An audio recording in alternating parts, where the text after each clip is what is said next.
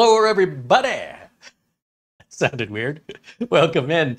Today it is uh, Wednesday, the 17th of July, 2024. That sounds right. We're off to a rolling start. Welcome in, all my uh, friends and members, to the uh, latest live broadcast where today, well, the members already know we've made an attempt on this board earlier uh, to get it installed into a mini ITX case, and that did not go well. So, for those of you who are members, you will recognize what's about to happen because this is the what I hope is the conclusion of this build video that we attempted on Monday. What I ended up doing is I was looking for another mini ITX case. We're trying to move some parts away from Studio B into the upcoming Studio C. And the uh, the idea of moving motherboards and RAM and storage and power supplies, you know, if I can put it all into just one case, it's a lot easier to move it. On the other hand, if I have to buy a new case, then that's more stuff I have to move. Found myself in quite the dilemma. So on Monday's members only video, I took what I had laying around for an extra power supply, an extra case, this motherboard from Minisforum, the BD770i, and thought, well, let's just use all these parts we've got laying around and get it built up. And then uh, this motherboard won't work in that case. So, okay. Then I have to decide what do I want to do? How much money do I want to spend? And that's when I found, through just looking around on Amazon for a unique solution that's not just the same old, same old, I found this new case, which comes with a power supply, and that helped to justify the cost. So if if the power supply ended up using can go right back in the box and be used as brand new again in some future build, and the other mini ITX case we used, uh, again, can go right back in the box, brand new, for some future build. You know, nothing ventured, nothing gained. My only concern is I haven't really done much research on this, but I think everything's going to work fine. Let's go over to Inwin's website because the case we're going to use today, and all the links, by the way, they're in the video notes, of course, below the video. It's called the B1. Now, this is a case I've not seen before. Let's see if I can share it with you. There it is. So the B1 case is a very unique looking mini ITX housed case that obviously would not have any room for an internal graphics card, right? So we're going to run off onboard video, which is what I intended to do anyway. And it's really intended to be sort of a media PC. You can stand it upright, you can lay it flat. Um, it is going to be exceptionally limited in expandability, but we don't want to expand it. Everything we want is already on the board. And, you know, it tells us the height here, and I haven't measured. I think we're going to be okay, but uh, we'll find out during today's live, unscripted and unrehearsed video. I paid for this case. It was not sent to us um, by the manufacturer. They don't even know who we are. We've never worked with Inwin before, but they have some pretty unique cases. Not sure that makes them better, but they're definitely different. And so this is what I've ordered. It comes pre-installed with a 200 watt power supply, which is perfect for this build. Again, we're not going to be adding a discrete graphics card. It also comes pre-installed with an 80 millimeter fan. And then we have our standard uh, mini ITX board dimensions, which are always the same. So the only concern would be height. Down below the board, it looks like looks like we have room for a two and a half inch drive two two and a half inch drives from the looks of it. And I'm going to guess those feet either go on the bottom or they go on the side. So you can lay this horizontally or lay it flat.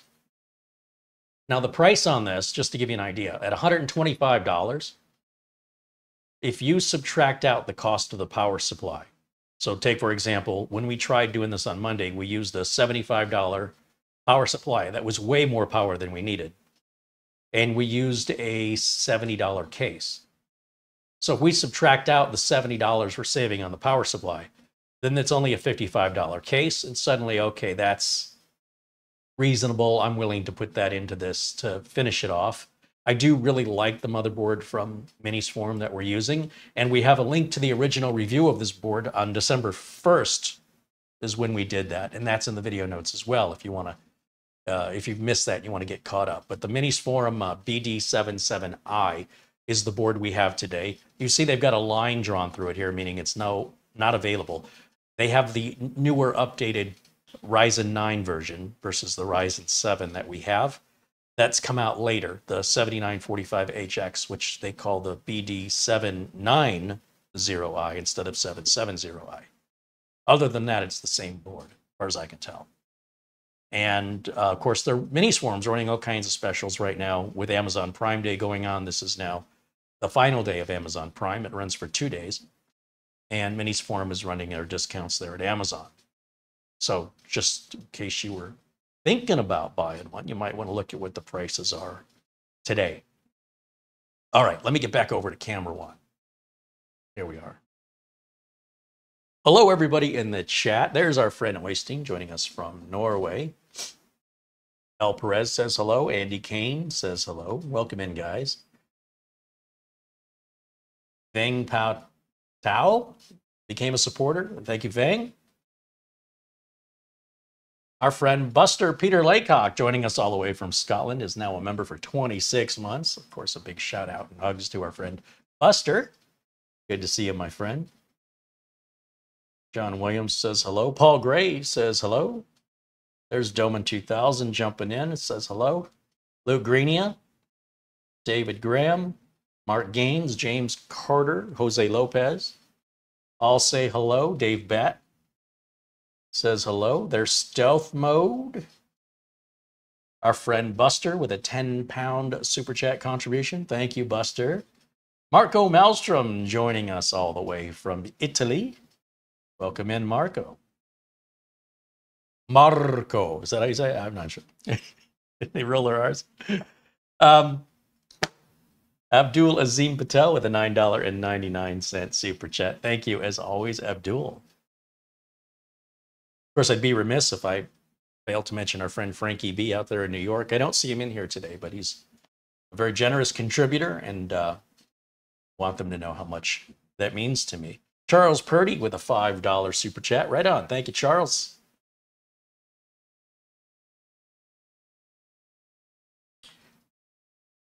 Marco says that's perfect pronunciation. All right, so what I got um, when I ordered the case from Amazon, it was yesterday. It arrived today, the InWin case, and it comes in a little box. And in the little box, this is what it looks like. I have not remove this cover myself. I'll be seeing it live and in person at the same time you are. So we get a real genuine reaction here, for better or for worse. Let's see what we got. Oh, those feet are tiny. I thought the feet were going to be bigger than that. All right, we're done with that.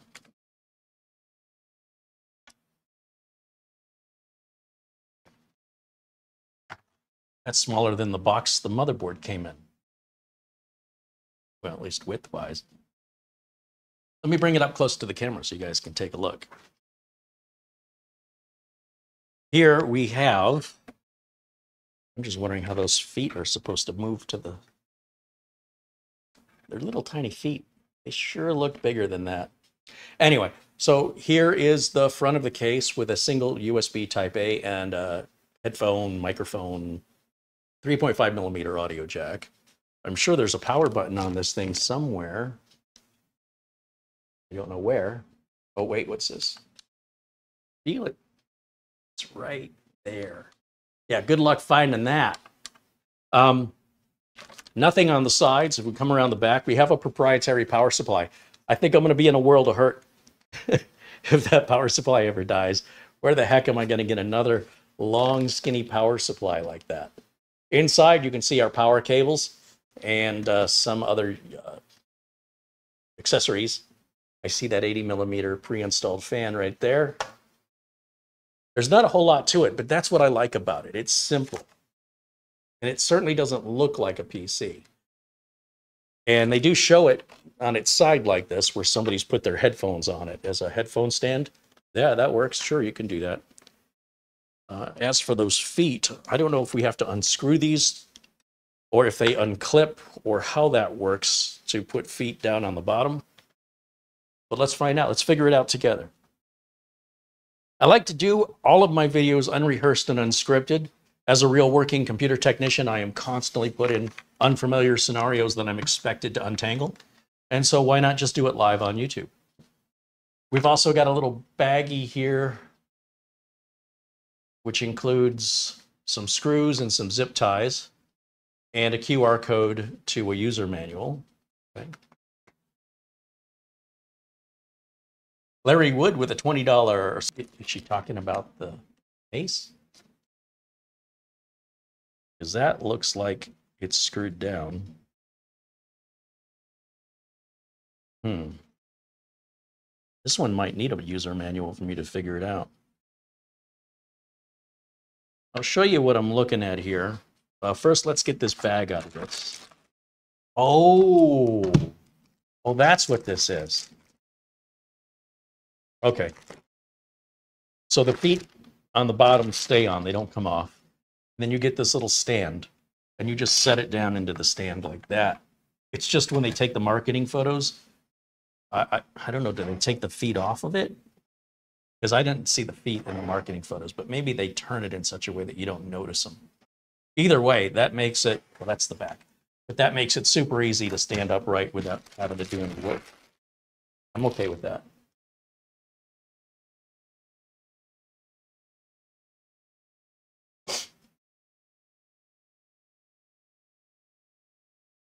Certainly, our thoughts are with our friend uh, Buster, Peter Laycock in the chat room.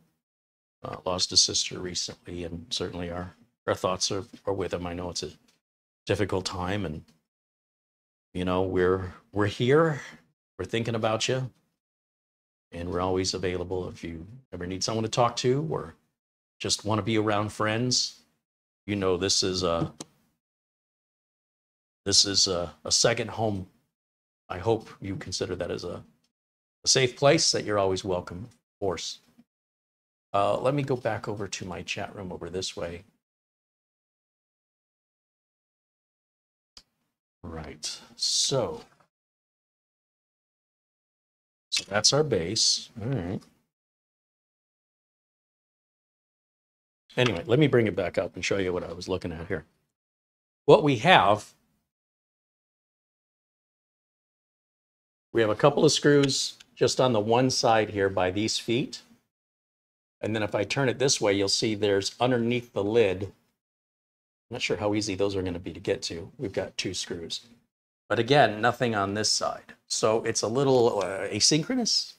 What's the word? Not asynchronous. There's a word for that. Um, it'll come to me. I might need to pull the documentation on this because I'm not sure. I mean, I can take the screws out and see what happens. Also, something else I just noticed down here, there are little arrows pointing in opposite directions. If I bring this up and you look really closely right up by my finger, and you'll see that again on the other side. Right, right there.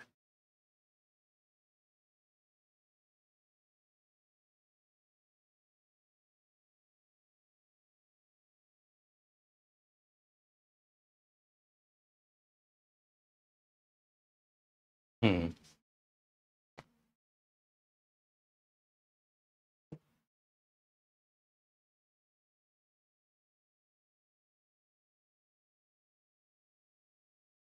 Let's try something. I really don't like to have to look in the manual. I want to see just how intuitive this is.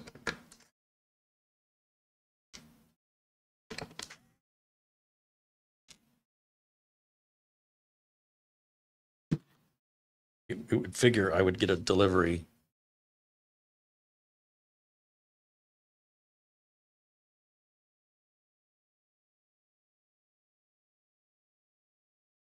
All right. Um, let's take a look here. Just those two screws, is that all I need to remove? It's a little bit difficult to tell because of all the what appear to be layers but it's that very first one here in the middle that separates out. And then that's going to give you access uh, to the two two and a half inch drives, which is really interesting. Uh, much like a mini PC, they're giving you the SATA slots, so you can just slide your drives in. You don't have to worry about running the cables through this little narrow area. That's a really nice touch. Even though I have no intention of using a SATA drive, I have stopped using those a long, long time ago, uh, except in maybe a NAS, you know, like a big mechanical drive. For people that want to use them, they've made that very easy. And it looks like that's all you have to do to get to this. We've got uh, what appears to be perhaps a way to remove those feet if you really didn't like them, right? If you wanted to keep the thing upright, I guess these could come off. Probably leave you with a couple of little holes that these feet go into.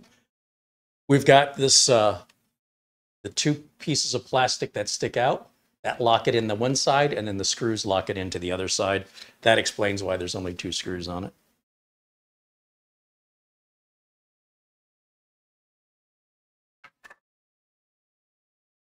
Now, I don't know if the next screws are the same, so I'll keep these screws over here with this, just in case they're a different length or a different thread. Now let me come at this, which I think I have to remove these two screws.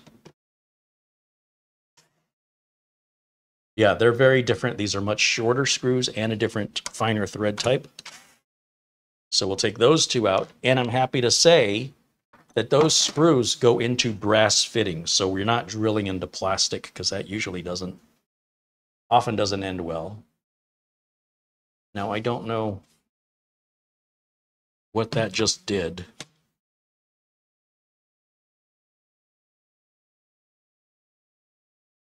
See. Hmm. Whew, it's a hot one today. Can I let me, let me tell you? It's going to be 116 this week. Ooh. I'm already feeling it.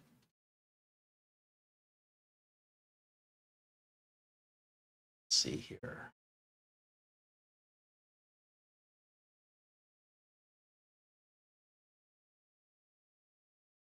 Hmm. Some people are mentioning some buffering, but everything on my side looks green.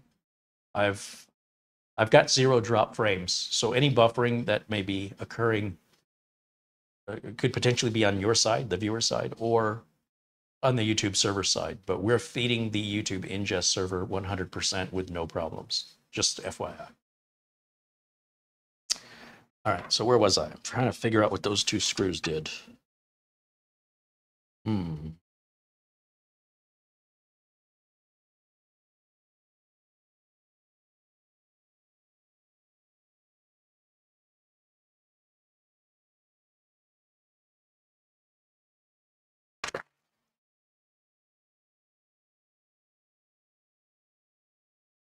Well, that's going to leave a mark. There's the inside. There's our power cable. This is a laptop clover, cloverleaf style power cord, pretty standard. Let's move these screws over here. Let's take a closer look at this lid and figure out what the heck hurt so much. I think what happened was it broke free and I reversed direction to push it back down because I don't want to use my momentum to potentially break it. And you can see it kind of dug into my skin a little bit, but no blood. Right there, that's, that used to be fully attached.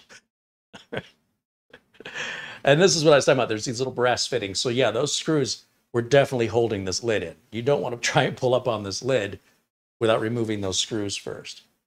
And that's all there is to the lid. Nothing much to look at here. But now that I know that that's being held in with clips, perhaps a spudger would have been a better idea. But that's what the documentation's there for. We haven't caused any harm except to myself. And I'm a Holzman. That means I heal, I bruise easily, but I heal fast. So we're okay. Now, looking into the rest of this, we've got our two SATA cables for data and two SATA cables for power that are coming off of those connectors on the other side. Let me just bring this up so you get a good close look and a very, very unique power supply. I've never seen a power supply this thin before. That's maybe an inch wide. Maybe two inches wide. It's got a little lip right here. But this is the power supply, which claims to be 200 watts. That's our included 80 millimeter fan. As you can see, that's sucking air in, right? Because you see the supports. So it's going to suck air. Wait a minute, other way around. It's going to blow air out. My bad. It's going to suck air in from the case on this side and blow air out that side. That's how that's going to work. And then there's probably some kind of a fan in the power supply, I'm going to guess. And it's going to blow air out these vent holes here, usually. Um, of course, we got a spot here for an IO shield. We've got the power connector for the fan. And then, like I said, the SATA data and power for, unfortunately, so there is a choice. You, if these cables, is this, if this is something you don't want to cable manage, it looks like you can take the two screws out and just take the whole harness off for one drive or each drive individually or together just take these, it looks like you just take these two screws out and then you can remove these if you're not using them. And it's going to keep the inside cleaner. And then again, looking at the back of it here, where the two two and a half inch drives would go. And they do have a nice little diagram I didn't notice before etched into the plastic here. So who needs documentation? It's all right there. So the first concern I have is, is this motherboard going to be too tall? I don't think it is, but been wrong before. Um, what do we have to do?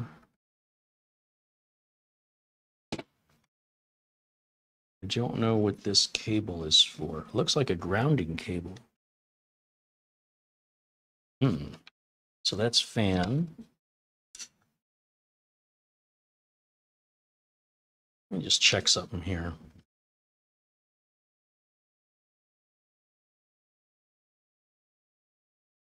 Oh, that's interesting. Okay. So we've got one of the SATA connectors coming off the power supply plugged into a,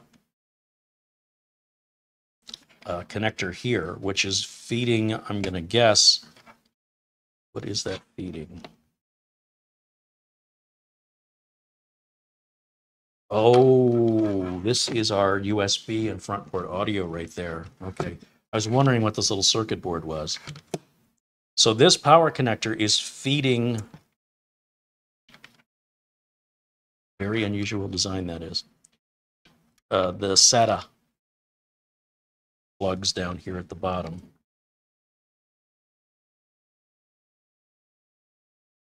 I still don't understand what this ground plug is for. It certainly looks like we can take those out. Let me just verify this. It'll also make my install easier.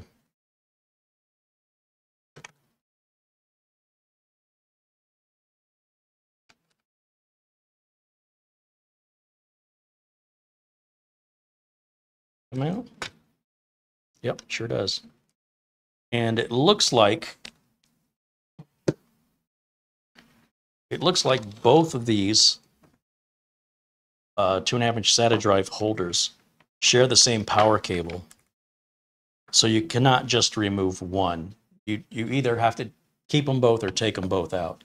I'm going to take them both out for right now. Like I said, I have no intention of using them, but we could certainly put them in a plastic bag with the screws so somebody could add them back in. They are proprietary. They're only going to fit with this case.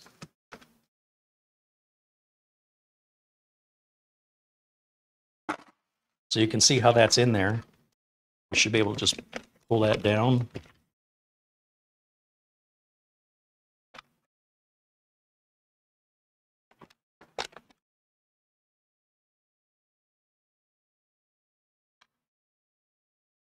There it is. Now, just so you can get an idea how this works. what they've done is they've given you the connectors that go onto the back of a hard drive. And they've already connected power and data. And so the data connector will go onto your motherboard. And if you're using the other one, the other data will go on your motherboard. So you don't have to worry about cables that are too long. And then as far as power goes, they're going to provide power from one cable to the next unit and then into your power supply. That's all there is. It's a really simple little thing. And what we can do is we can fold that up. Like I said, we can put it in a Ziploc bag or something and keep it with the machine with all the spare parts. Because I have, have I said I haven't had any intention of using it three times yet? I have no intention of using two and a half inch SATA drives. But look how much cleaner the inside is now to work on too. It's going to be a lot easier, better better airflow. And why is my phone still beeping at me? Oh, because I didn't put it on do not disturb.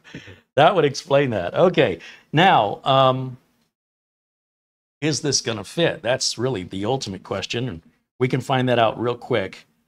We know that it's got to go in right towards the IO shield here, which is hopefully I have the IO shield in the box. But before I get ahead of myself, let's just make sure we're not going to have any clearance issues here. Ooh, that is close. That is super, super close. I mean, we are right there. So now my question is, if I get these cables out of the way, ooh, there is not much room for cable management in here. Holy cow. Um, okay. Don't know how that's supposed to work.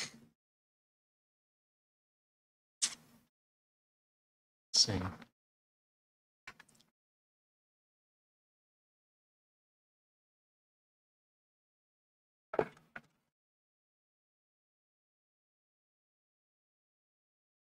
The cables are really in my way of putting this lid back on. And I'm just trying to seat it temporarily. Oh, there's a filter right here. Did you notice that?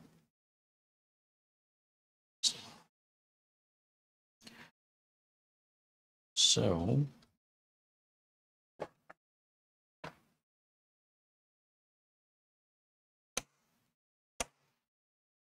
Oh, wow. Wow. Okay, so here's the deal.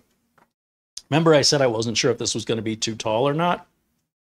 It is right there. I mean, right there. It just fits.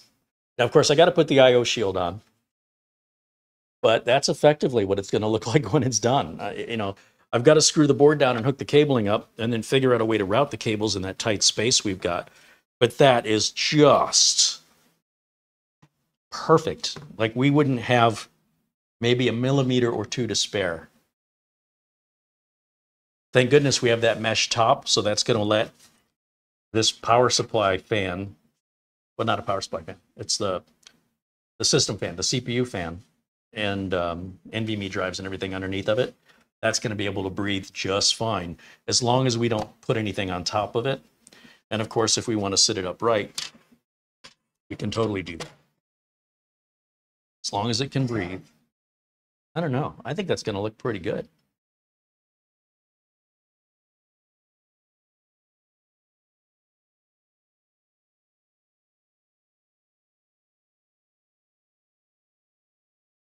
I just guessed.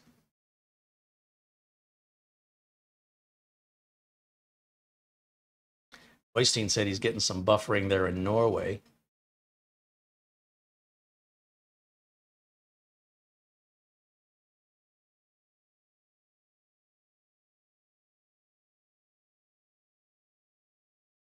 Alan Lindos joining us from Casa Grande, Arizona with a $7.77 super chat. He said, I'm not sure if I can super chat to you, but I'll try. I sent you an Amazon gift card yesterday. I hope you got it. Uh, yeah, uh, I got your Amazon. Um, obviously, I've got your super chat. Thank you, Alan. With regards to an Amazon gift card, I don't recall getting an Amazon gift card from you yesterday. We have had numerous issues with people misspelling my email address, and that's usually why we don't get them. but I will let uh, Mara confirm. Thank you, Alan. All right, so I can move confidently ahead, knowing that the worst part of this build, or the most challenging part, is going to be the cabling, because we're just we just don't have much room to work in here. Mara says we don't have an email from you, Alan. So I'm going to guess you might have typoed the email address. You should be able to go into your Amazon account settings and look in your order history and verify whether or not the gift card's been redeemed, recall it, or you know change the email address, or reach out to Amazon customer service during their their live chat, and they'll assist you with it as well. So the other thing I'm wondering at this point is if there's an easier way to separate this without injuring myself. And my guess is where I showed you those arrows earlier, there's little tabs, I just didn't know which direction those went. So I just lifted up on them and it came out a lot easier. So just using these little tabs right down here, which are right by the arrows that are facing opposite directions, that looks like the way to do it. So this will fit, we're okay. And now let me make sure I've got the IO shield. Now, some of these cables, they're right here. This is our USB 3 for that front port. This is our audio header for that front port. And then, no, it isn't. This is a, what is this? This is probably the front switch and LEDs is what that is. And then this is our audio cable. And again, I don't know what this grounding cable's for. It's got a spade connector on it. I don't know why. And then we've got our fan. After that, we just need to hook up motherboard power. And we should be good to go. These mini ITX boards, they only take four screws, one in each corner. That's universal across all mini ITX boards. 200 watts is more than plenty for what we've got here. So let me take a look in the box. And I hope I've got the IO shield in here.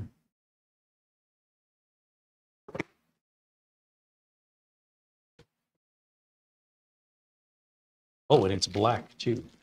Nice. Okay. Oh, we got spare screws. We got some documentation. Oh, we have an antenna, a big base antenna. Cool. I forgot that was in there.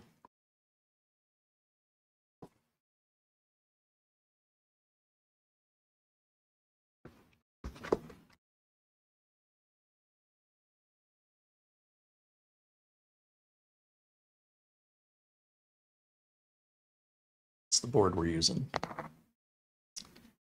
And the IO shield is a little concerning. I don't know how that's going to stay in.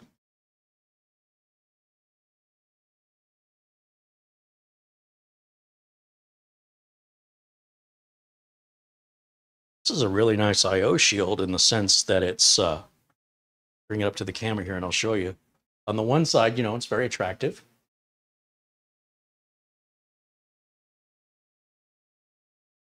And the other side, it's got some nice foam in here. So you're not scuffing it up against the back of the board. But I don't see anything that holds this in. Other than, I suppose, the pressure of the board pressing against it. Um, let's try some.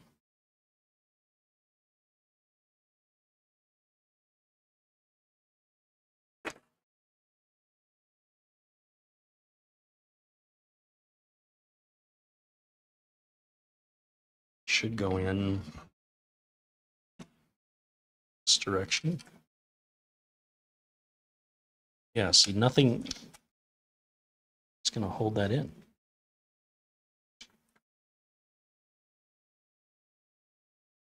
Nothing.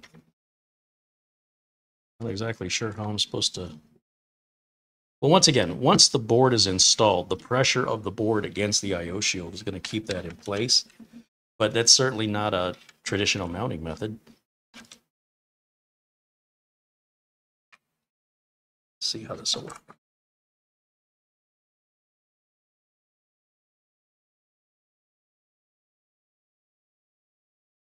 Maybe I need to put it on the board first.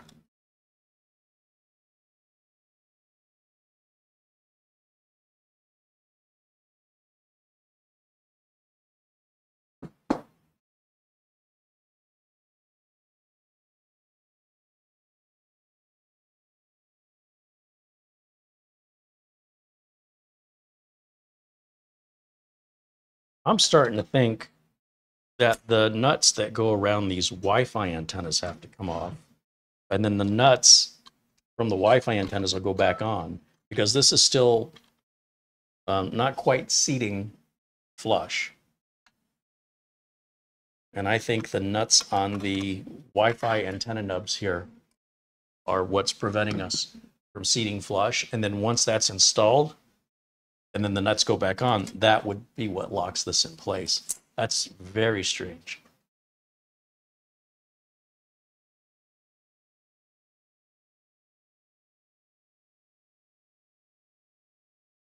So let's uh, let's try that.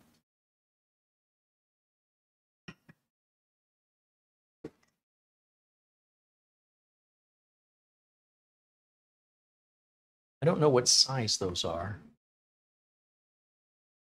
I might have a nut driver that's that size. Let's see. Let's try, what is this? This is an eight millimeter. Nailed it. Perfect. Eight millimeter.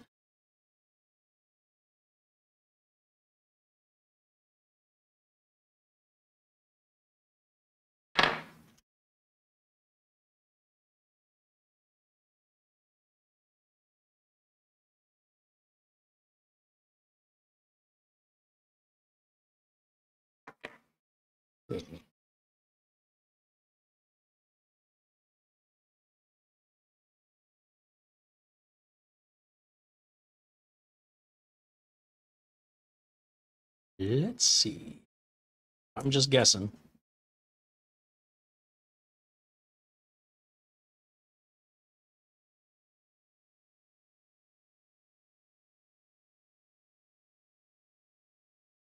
Well, I can see the heatsink could be in the way. I also see two holes right above each HDMI port. As those screws hold that in. So maybe it's a combination of both.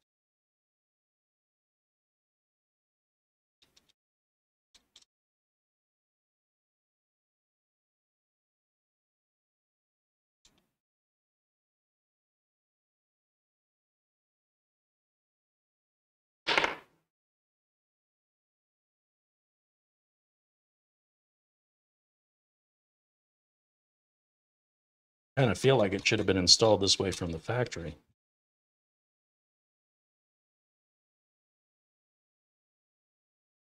We don't need to get that too tight.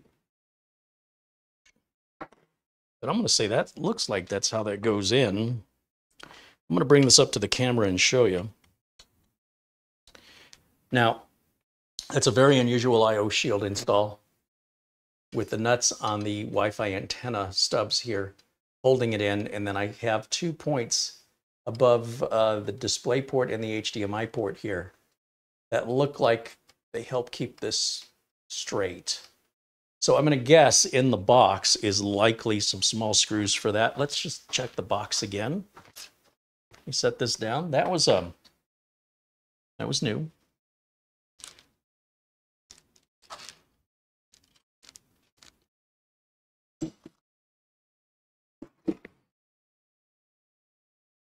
See.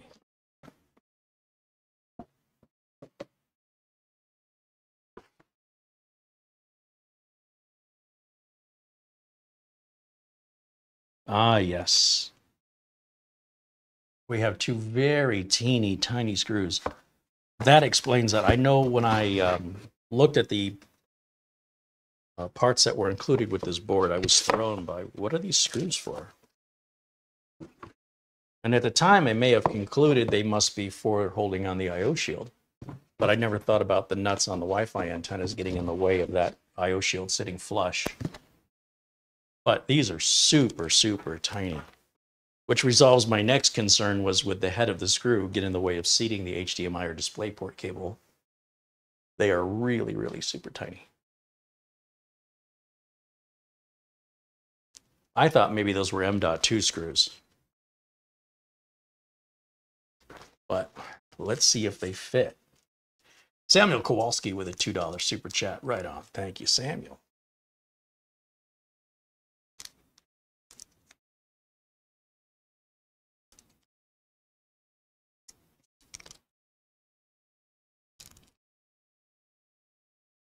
Okay, oh, those are, man, you don't want those to just go rolling off the desk. You'll never find them again. And you need, you're going to need a jeweler screwdriver to get at these. So let's do that now. At least once we put them in, they won't go anywhere, right?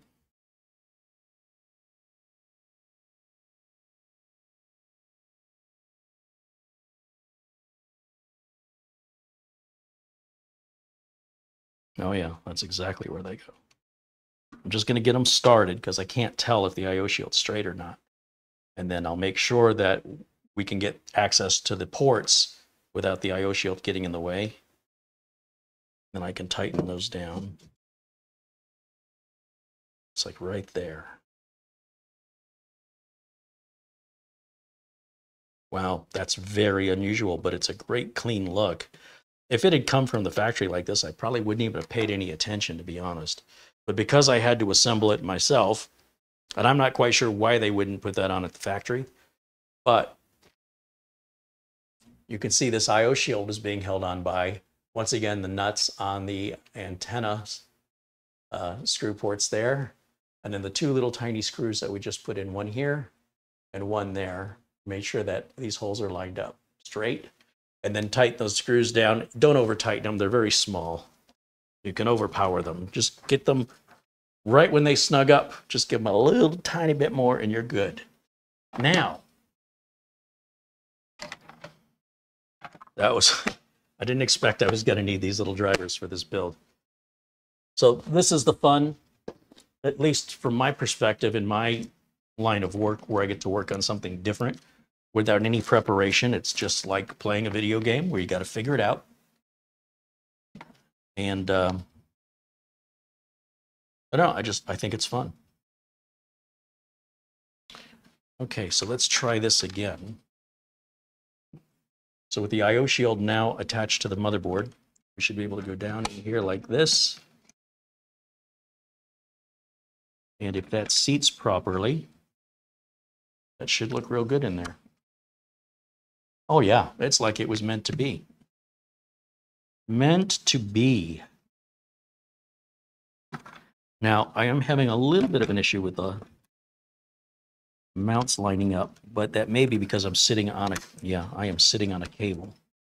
So we got to get these cables out of the way. We don't want to screw the motherboard down onto a cable and pinch the cable, potentially uh, breaking through the insulation and creating a, a ground point. That would not be fun. Still feel like something's not quite lined up here.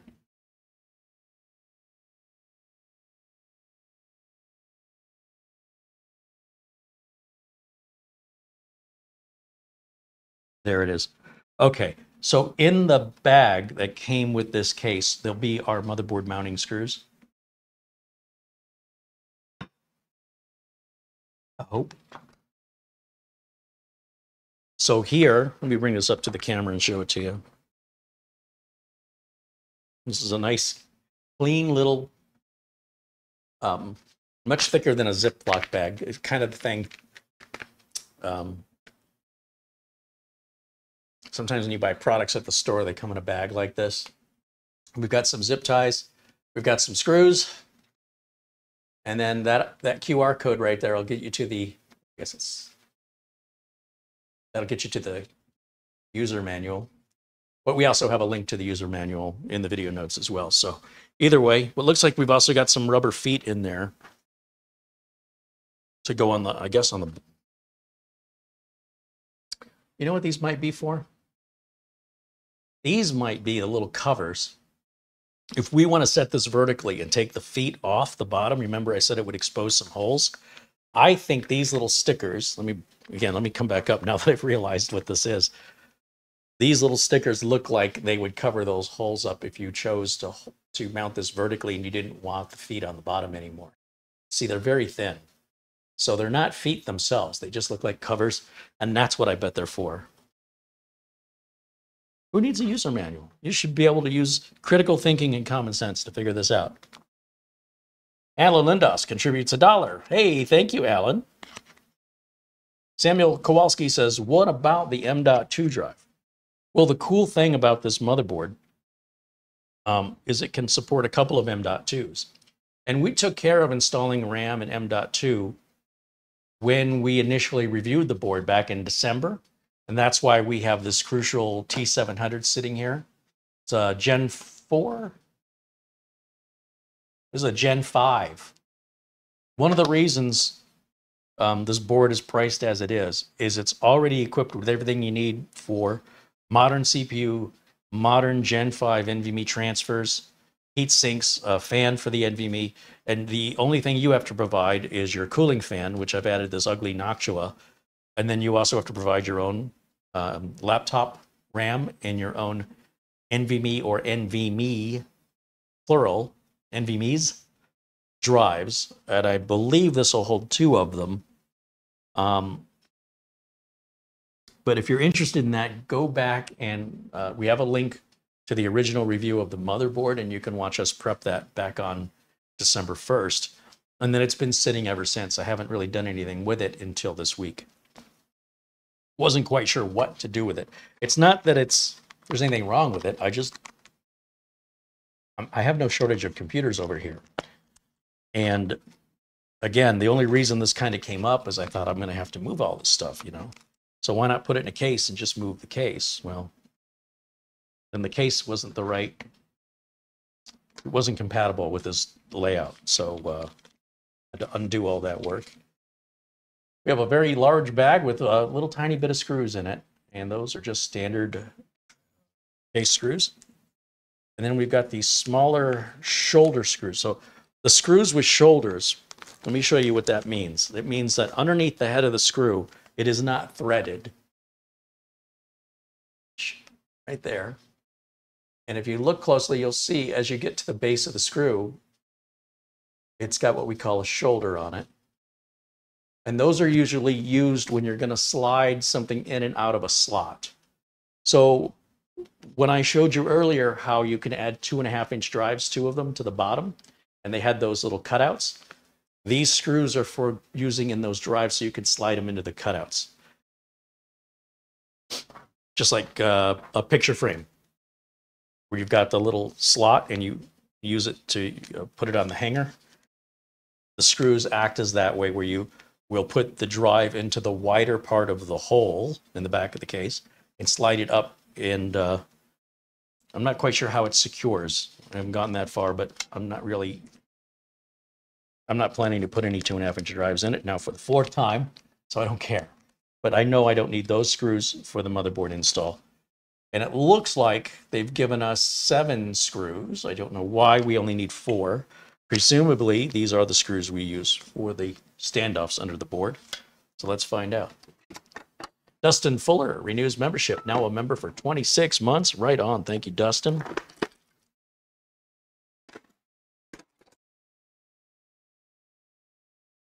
Hmm. I bet you I was looking for that screw some time ago and now I just found it. it fell in the drawer, wherever that came from. Um, I have scissors somewhere.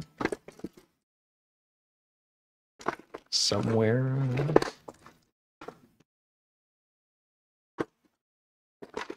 Found them.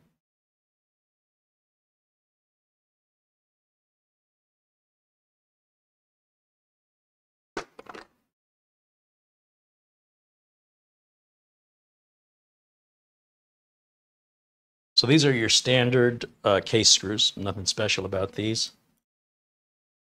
Let me make sure they're. I was afraid that wasn't going to be magnetized enough. Let me grab my better driver here.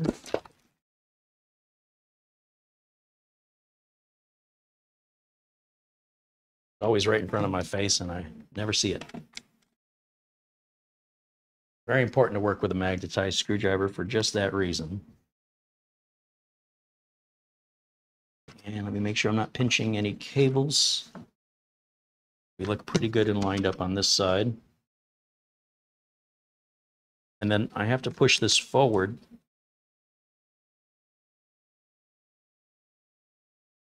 To get it to align, which is weird.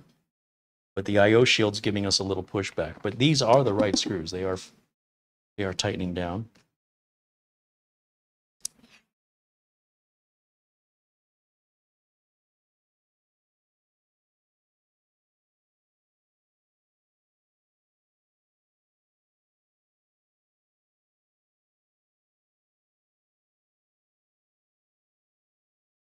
Yeah, this is requiring a lot of pushing forward to get the holes in the motherboard to align with the standoff. So it's a tight fit.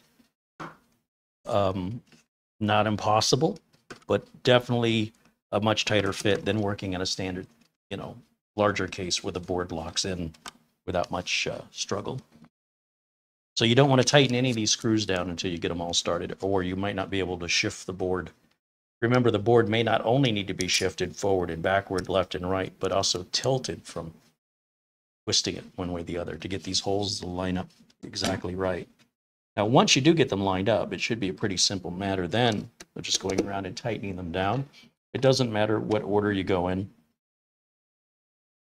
You just don't want to leave any blank because when you start plugging things in and out of it, if there's nothing securing the board in, it's going to move the board around and it's going to be frustrating for you to plug things in like USB and HDMI because they'll move away from you when you plug them in. So using, because there's only four screws, using all four is pretty important. Now they've given us an extra four for some reason. And what I'll do is I'm just, this bag is not resealable, but I can make it resealable by just grabbing my stapler. And then I don't have to worry about the screws falling out and losing them. All right. So now I can bring this up without anything falling out and give you a nice close-up view. Here's what we got.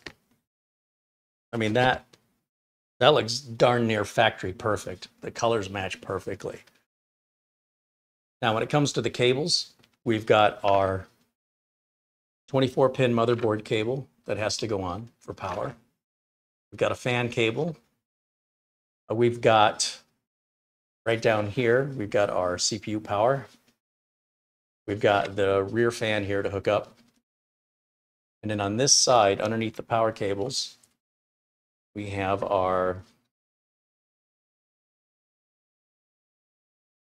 audio cable.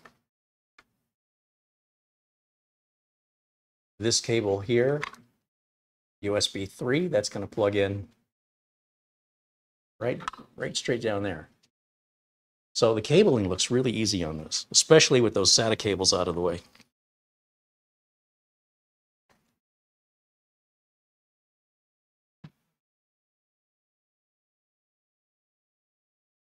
So let's see.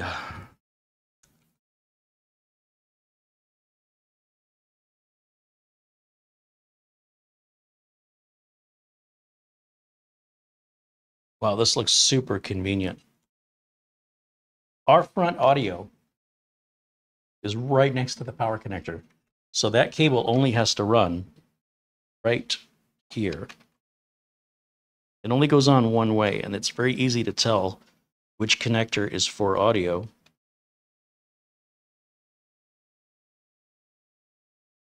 It is very dark in there though, so I need some, I need additional lighting.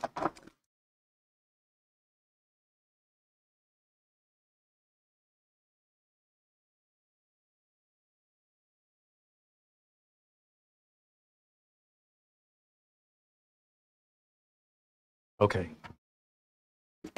So that, from here, just to the audio port, right, right next to the power connector right there, the big 24 pin power connector. This, as I mentioned, looks like our power switch and power LED. I'm counting one, two, three, four, five, six. So maybe there's a hard drive LED as well, or there doesn't appear to be a reset switch. So whatever that is, it's going to be, it'll light up on this side. This is where the button is. Once again, it's a, it's a very well hidden power button. If I had to describe to somebody over the phone how to turn this on. I'd say, well, hit the button on the front. And they'd say, there is no button. But you got to look very, very carefully. Now, if that button were a different color, if it were red, it also looks like maybe there's some lights. And if we tilt down, you can see where I just plugged this audio cable in. If we tilt down, you can see the circuit board or the switch and the LEDs coming out to this ribbon cable. And I think that's going to plug in right over here. So it looks like they really thought, they being uh, Inwin, really thought this cabling out well because mini ITX cases, they move the typical location of your audio port, your USB ports, and your power switch uh, front port umbilicals. They're not in the traditional spot.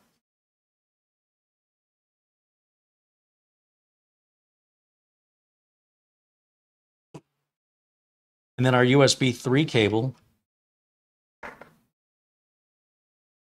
Again, it's right here on this side of the board. So I'll bring this back up and show you again. Our USB 3 cable just ran right down there. And I still am, I'm, now I'm going to hook up the front port uh, power switch and LED. I just have to look a little closer at this board. I believe it's the connector right next to the USB, but I could be wrong.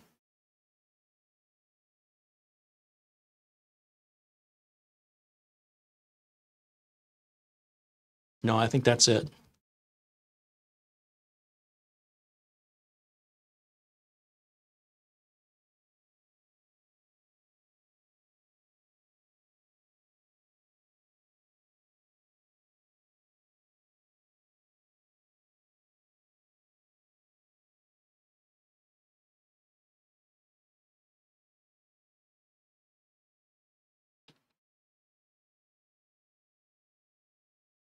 I believe that's the correct port.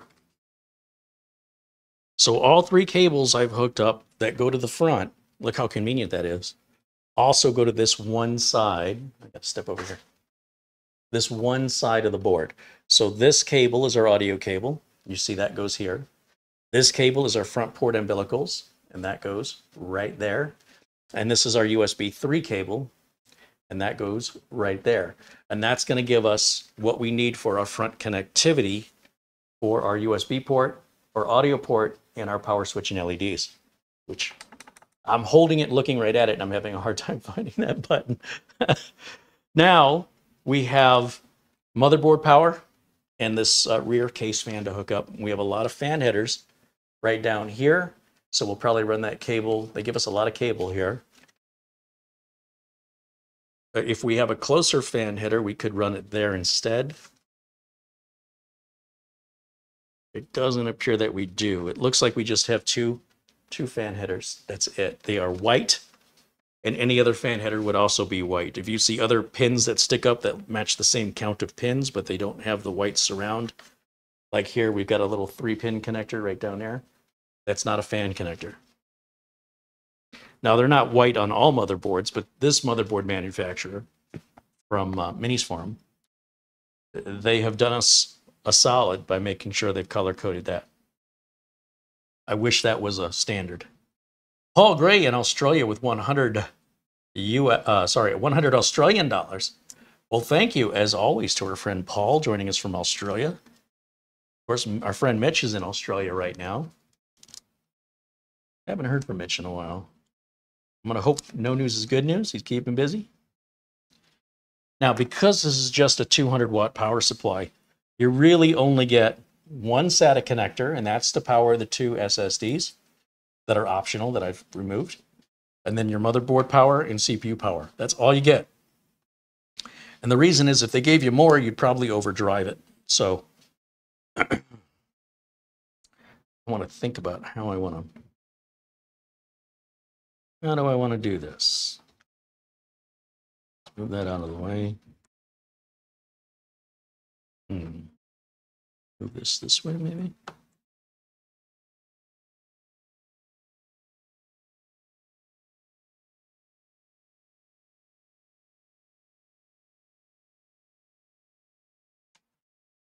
So the cable management on this won't be too bad because the cables aren't that long to begin with, right? But they're all just on one side. It sure would have been nice if they'd have just given us an extra inch of space, made this just an inch longer, just so we can stick the cables down in a trench. I think there's a little trench there now, but it's it's going to be tight. This is our CPU power. I got to figure out how to route that all the way around here. So we certainly wouldn't want to go around this way. The cable will not be long enough. So we have no choice but to come up the same route. Also, let me take the wire tie off of the rear case fan because that has to go exactly the same route, but the other, coming from the other side. So the first thing I want to do is get all the bends out of there. We do have a cooling fan right down here on the NVMe drives and a fan here plus this fan here. And what we don't want to do is we don't want to have our cable in any way get caught up in any of these fans. So the cable management isn't just for looks, it's also to ensure that uh, your cable won't interfere. And you see they've got the cable on this fan coming out towards me, and I don't know why. I would think that cable should be coming out that way. But it does look like maybe this comes right out. Let me see. Something's holding us in. Oh. Okay, well, check this out. I, I love figuring this stuff out. I would not want to read the walkthrough, I mean, the directions. I don't want the cheats. Okay, these screws are again a different size, so I'm going to make sure that I put these screws back to this, this piece right here, which is what our fan is attached to. And what I'm showing you is that the cable's coming out this side, and I want the cable to come out the other side. So my, my route is going to be, uh, the, the cable routing basically has to go across, to route this cable, I have to go this way. And I don't want it to rub against the fan or potentially get caught up in the blades. So this little piece that I've unscrewed, it has two little latches that hold the fan in. There's no other screws holding the fan in. So if I lift up that latch, and all I want to do is rotate so that this cable is coming out, this cable here is coming out of this side. What's holding the fan in are these little plastic nubs and then the clips. That's great design. I really like that. So if I just rotate that, you know, the other thing that looks good is when the uh, logo on the fan is going to be upright. You'd think that's how they would have put it in at the factory. And then these are the holes where the screws were, right here and right there. So I know which way faces down because I want the, the, the cable facing down and this way. So we get it lined up with the little nubs up there and it should just lock in place. And we can screw that back down. And now the cable will be coming out of the proper side. That's going to make this uh,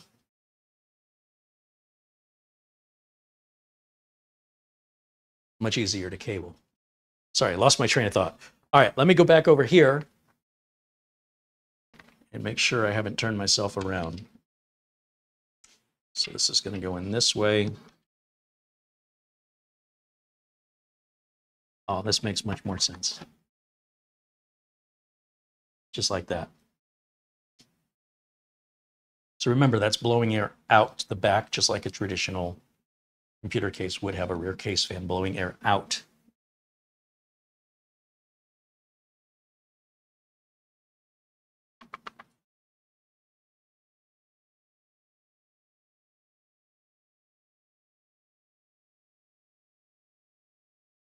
Putting the wrong screws in, aren't I? It's these screws up here.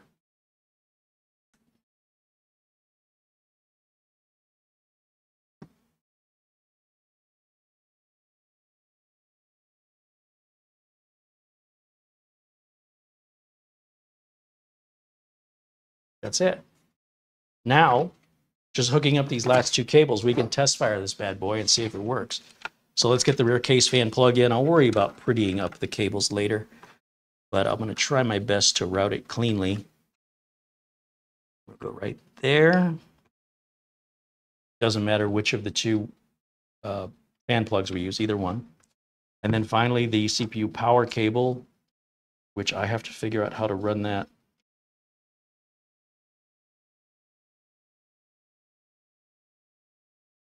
Tell you what, for right now, let's just get it plugged in. Worry about making it pretty later.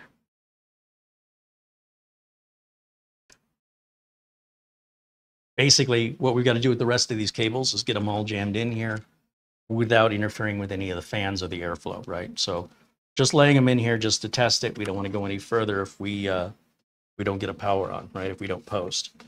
And then we can also put the bottom back on because I'm not going to, uh, for the fifth time, put two and a half inch drives in there. This will only go in one way. So the screws are going to go towards me.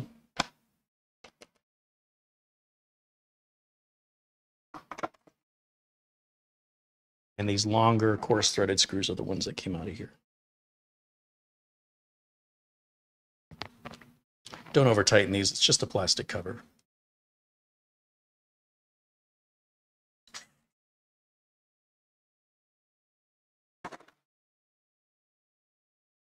Fastest build ever. Okay, let's uh let's plug it in and see what it does. Not too shabby. Not too shabby. Uh, I need power, so I'll use my power that I already have here. That cable get shorter? No, just me. It's got to be on the wrong side, of course. We also have to get um, internet, HDMI, and then we need a keyboard and a mouse, and we can fire this bad boy up. Garfield Rupe renews his membership. Uh, thank you, Garfield. Good to see you. All right, let me get this plugged in. I'll use this front USB port. That'll test it at the same time. And let's go to my HDMI input over here so we can see what this does together and react to it together. Let me put myself here on camera one, a little up in the corner is I still want you to see this when I turn it on. Okay, here we go, power. Fan is turning. We do have a blue power light up here on the front. I don't know if there's a hard drive light blinking or not, but I do see a blue power light that does indicate where our switch is. It's perfectly silent. That's why I went with the Noctua fan. And let's turn off camera one so we can get a good look at this desktop take a look at our configuration on this guy. A lot of stuff going on. Oh, I got to activate Windows. I'll be going to VIP CDK deals later.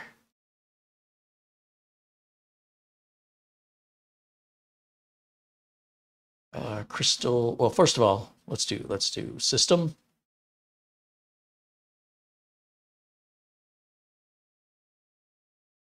I mean, that's dead quiet. I see the fan, but I do not hear it at all. I mean, zero noise. Also, the little tiny fan for the NVMe is turning, and I don't hear that one either. They are completely dead silent. And if the power supply has a fan, I don't hear that one. I mean, just nothing. So here's our AMD Ryzen 7 7745 with our built-in Radeon graphics with 32 gigs of uh, SODIMM RAM, DDR4, I believe it is. We're running Windows 11 Pro 23H2. And if we run Crystal Diskmark, we should see some giant numbers. We do live in a world where you get what you pay for. I know this board isn't exactly a bargain hunter's dream if what you're looking for is cheap.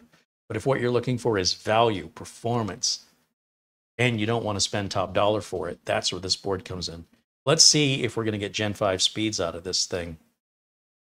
We're getting Gen 4 speeds, it looks like at 7,400, we should be getting 12,000. So I can't help but wonder if maybe that's not actually a Gen 5 slot. Now, one of the problems with the board design, if you want to call it a problem, is to get to the NVMe drives, we, we have to take out the two fans. Um, at 7400, I mean, let's face it, that's that's no slouch, but that's also not the Gen 5 I'm looking for. I'm looking for 10,000 or better. I kind of feel like that's running at the top end of Gen 4.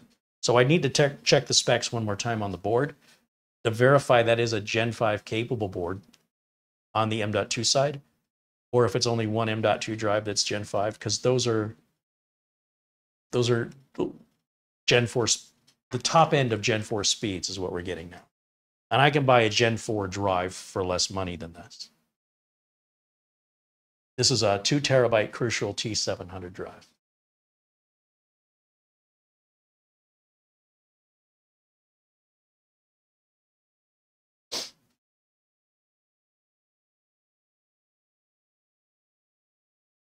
Peter VZ with a one euro contribution. Thank you, Peter.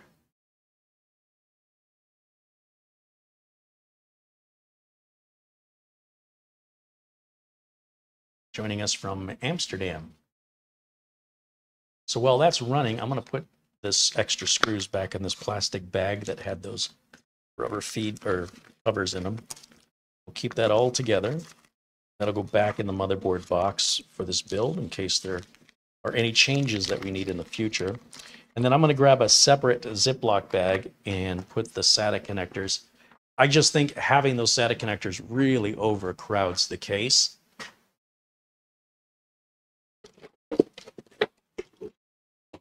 And I feel like this isn't really something you should need two uh, SATA drives for. You've got two NVMe slots and a network connection. It's not exactly a server, you know what I mean? So you could use it as a media server. You could use it to do pretty much anything and just buy big NVMe if you need a lot of storage, buy two of them. Or plug a USB drive in or use network attached storage. Kind of forces you to back your data up.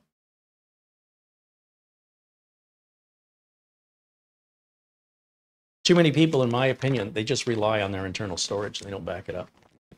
When their internal storage dies and they have a bunch of it, you know, like very large internal storage, they lose a lot.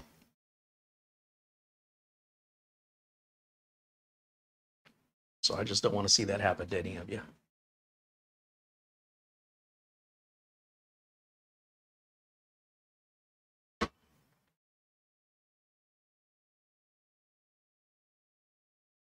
Just about done with our numbers here. Really feels like Gen 4 to me.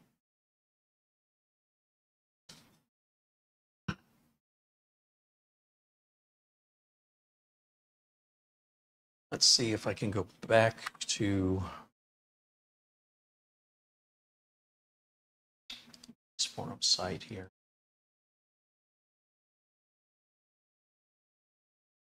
What do they say about it?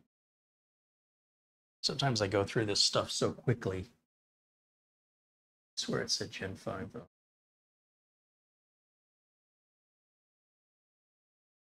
PCI 5 is the PCI Express slot, but the M.2 slots don't say their gen. They don't say what generation they are. Let's keep scrolling and see.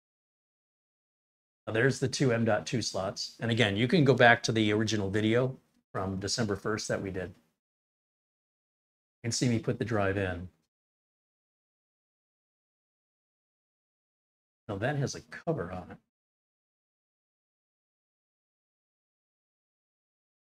Weird.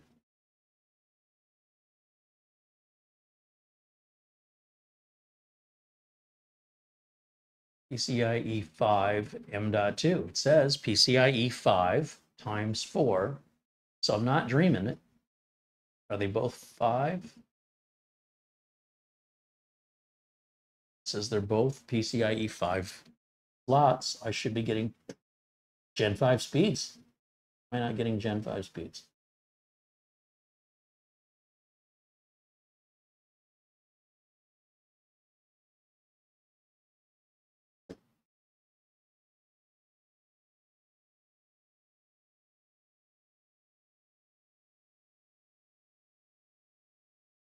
This is the heatsink without the actual fan on top of it.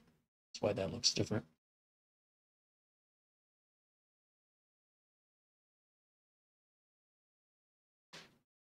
And it looks like they have these posts there for putting a 140 millimeter fan in and screwing it down. So it is designed to have a fan of this, this size put onto it.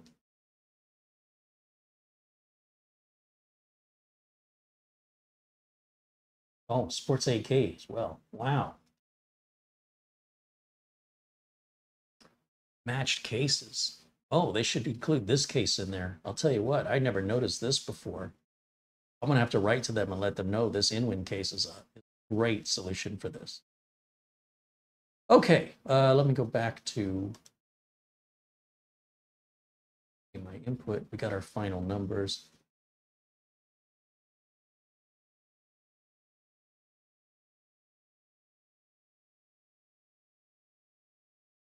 Let's do, let's see, file. Save image. Still. Mark. JPEG. The desktop. Perfect. And, oh, my screen is frozen up over here.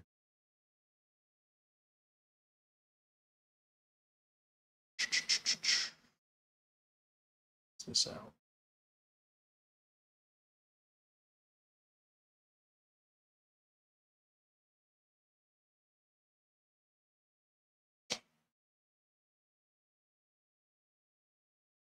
Just getting the spinning circle on my my tablet here, and it looks like it just happened.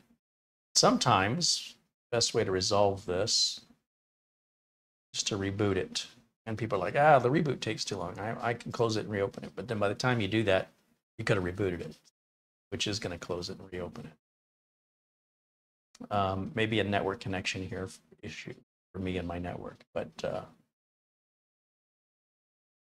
yeah.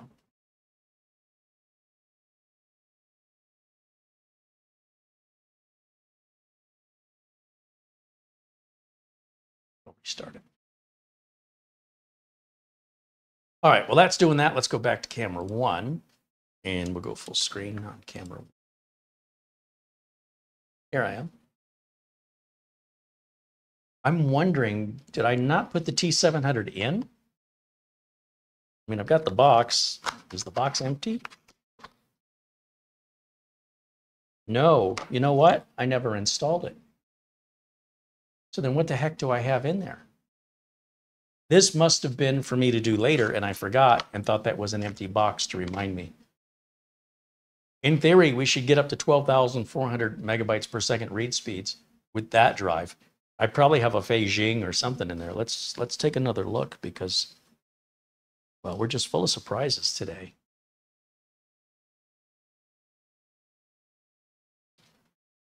To go full screen on my side here.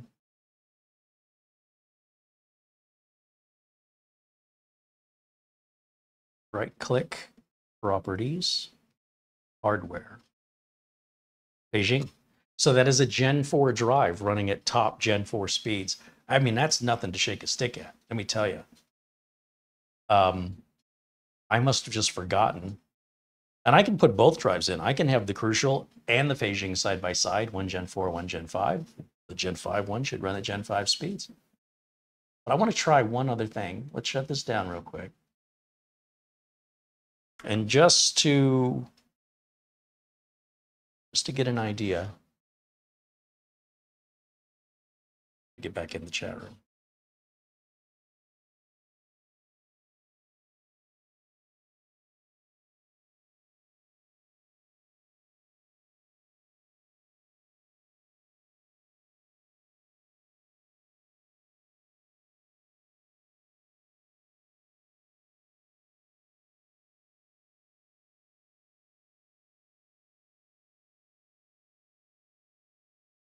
Just happened? Yeah, my tablet is really having a hard time um, connecting to my network here locally. So something's happening. So I will rely on just looking at that chat.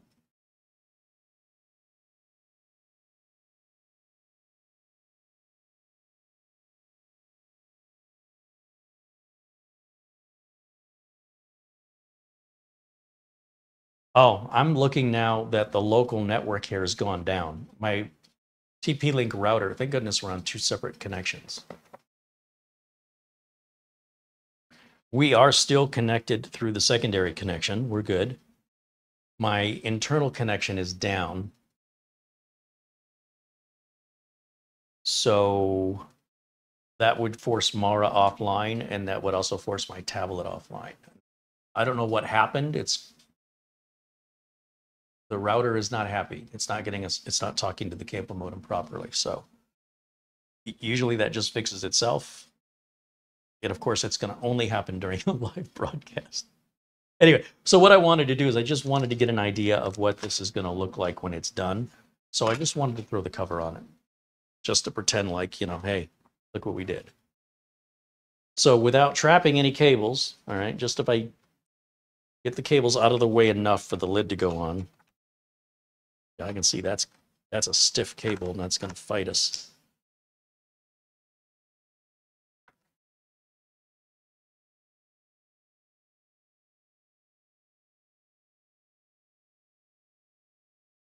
Hmm.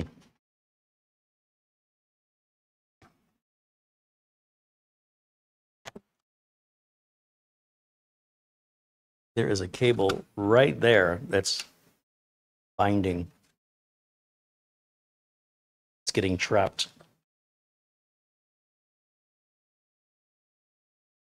Well, now I know why it clips in.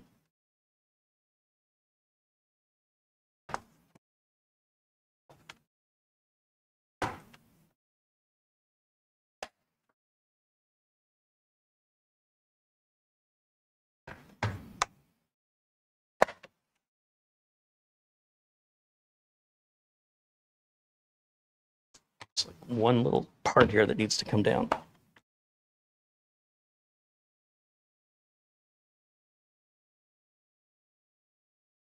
So close. So that's the problem when you have too many cables. But as you can see, we can set it up like this if we want. You know, keeping in mind of your cable distance. Just like that.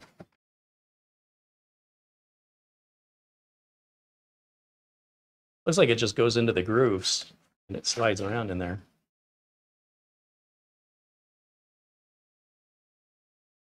And then if we turn it on, again, trying to find that power button. Where is it? I, I find it easier to feel for it than to look for it. Hit that power button. Blue light comes on. There's a blue light there. I think that's the only light that's on it. Oh no, wait a minute. The blue light has a red light behind it. And so as the operating system's loading, as it's reading and writing to this internal solid state drive, that light, the red light is blinking just beside the blue light. So it looks like you're getting pulled over.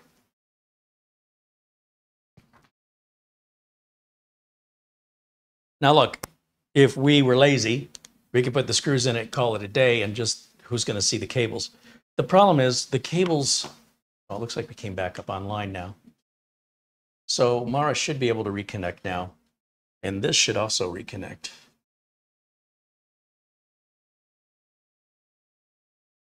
That was weird.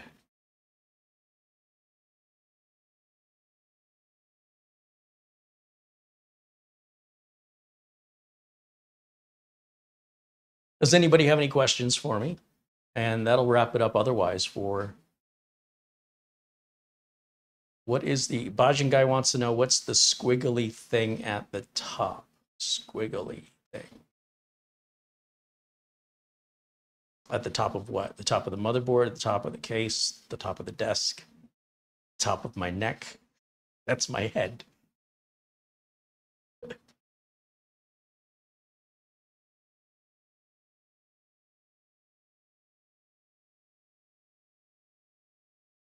El Perez says hello. 1K Viper says hello. Luke Greeny wants me to check my phone. That's a great idea. Thank you, Luke. Forgotten to do that. Let me reconnect over here on the tablet.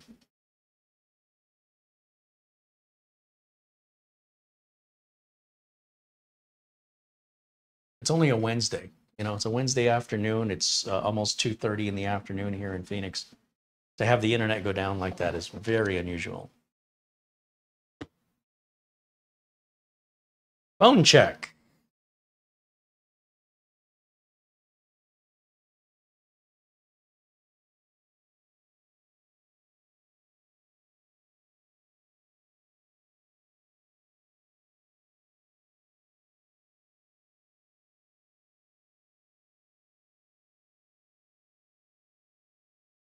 $25 from our friend Luke Greenia via PayPal. Thank you for that, Luke. Alan Lindos sends an Amazon gift card. Says I can't interact with chat. Kind of stinks. I guess it keeps the trolls from messing up the channel. I'll do my usual $7.77 fee this way. Well, it's easy enough, Alan, just to become a member. And that membership then would replace your super chat, right? And you can hang out with us in chat. Unfortunately, I don't have any way that I'm aware of yet to make any exemptions like it's YouTube's rules. You turn it on or you turn it off. There's no sort of turn it on for some people and turn it off for other people. Um, but I really appreciate your your thoughtfulness and your contribution, and I hope you'll consider becoming a member.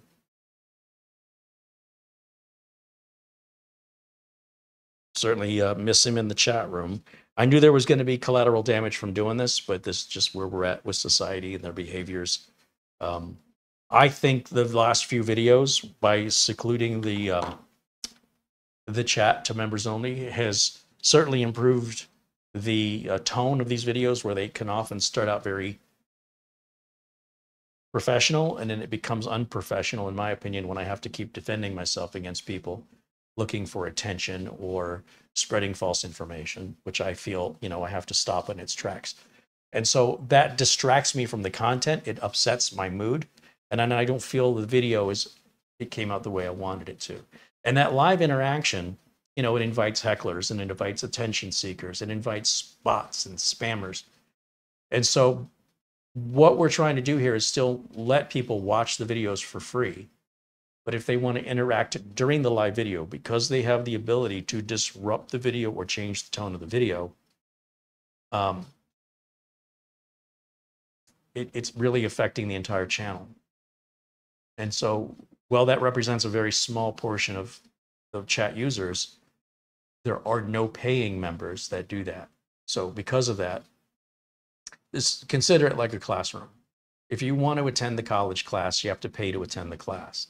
If you'd like to watch a video of the class, that's free. So it's, it's kind of like that. If you want to interact with the instructor, you've got to be in the class. If you want to be a spectator watching, we, we're keeping that free. And this is how we're able to keep it free. Without the members, there may be just one video a month, if that, and it would be costing me money for people to watch me. So we're trying to find a balance to it. And I hope you understand it's just society, culture. We are worldwide. So even the cultures aren't the same from country to country where we air. And what some people think is funny, other people think is bullying. But I've I really think this has worked out well. I think that the um, the members only chat has kept this far more professional and far more uh, on focus to the subject matter without, you know, I have enough distraction, enough squirrels to have somebody bring something up or ask a silly question that we've addressed 25 times before.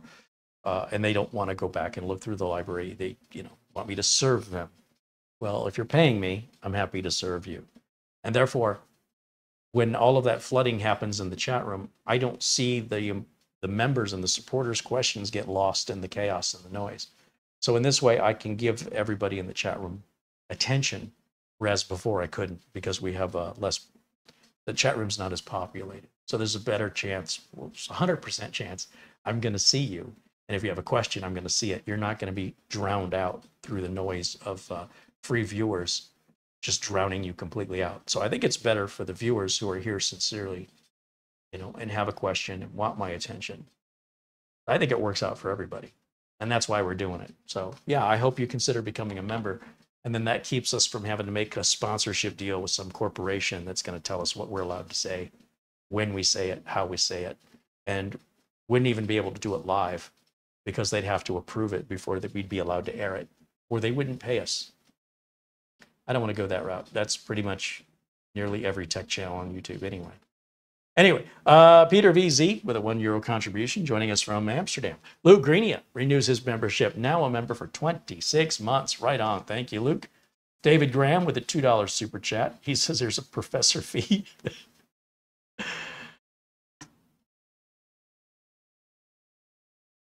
uh, let's see.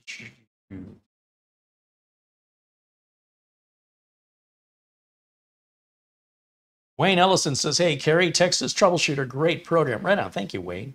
That's a pretty interesting looking case. What do you guys think of this case? You know, the fact that it comes with that 200 watt power supply seals the deal for me. I've never seen a case like it. It have any of you seen this case on any other YouTube channel? I haven't. And this motherboard fits in there like a glove. The members remember my struggle with this motherboard on Monday, but looks like things were meant to happen. This is way better. There's our friend Paul Gray with another 100 Australian dollar contribution in Super Chat. Thank you, he says, Carey and Marlena in the chat for all you do for us here in the chat room. Well, thank you for supporting the channel and your extreme generosity. Very kind of you. Very kind. We appreciate you very much. Samuel Kowalski says, I love that case. James Carter says, I think the case is really cool. Bajin Guy says it's an interesting looking case, but a rather tight fit though. Well, the smaller we go, the tighter the fit's going to be. We could put that same motherboard into a giant Be Quiet Pure Base 800, but it's going to look a little silly. It'd be like wearing a shoe that's 20 sizes too big. Let me put Shaquille O'Neal's shoes on. See what they look like on me. So, you know, the small motherboard is designed to be in a small, tight fit case. And if you look at a mini PC, you know, there's very little upgrade you can do to that. And they, they're, you know, maybe a third of the size. But because it's all built into the board, there's very little cabling to deal with. So as long as you want that customization and control and the, the varying, changing the board out things that you can't do on a mini PC, um, you have that right here. But yes, it is a tight fit for sure. And again, if we left the SATA connectors with the SATA cables, you're just going to have to get really creative with how you manage and route those cables. Obviously, it can be done, otherwise, they wouldn't include it. People have done it. Jose Lopez contributes two bucks. Right on. Thank you, Jose. He says, great vid, Carey.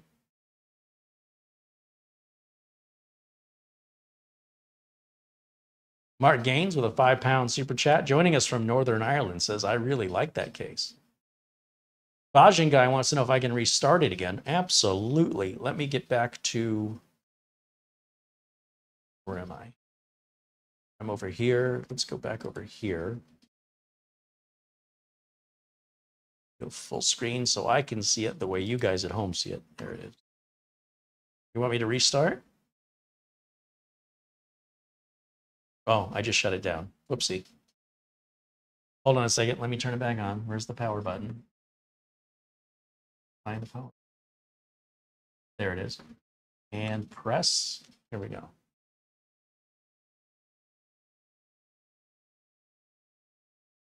Sorry, I'll do a restart. I, I hit the wrong button. So we'll wait for it to come up.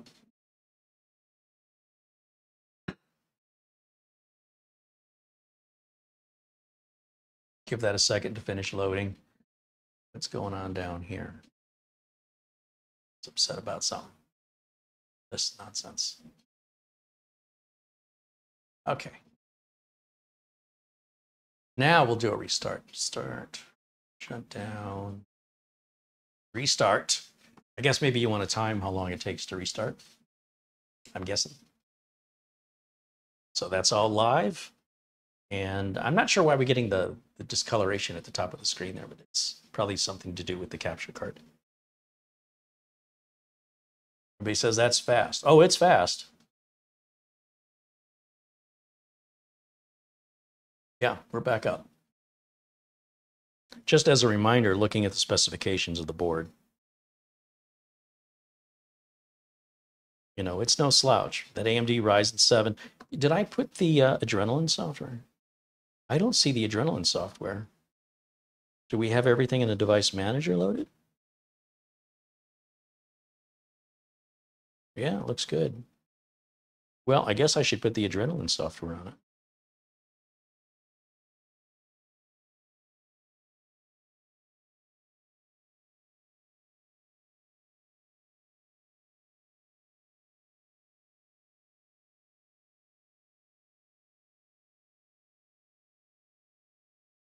We want the drivers.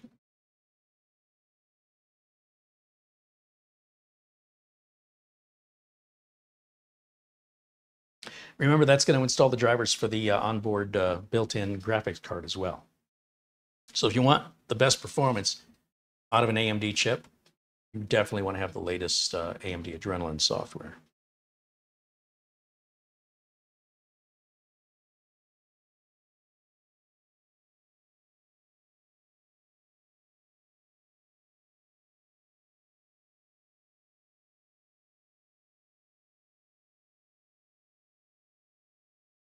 Because if you think it's fast now, once we get the latest drivers on there, it'll be even better, especially in gaming.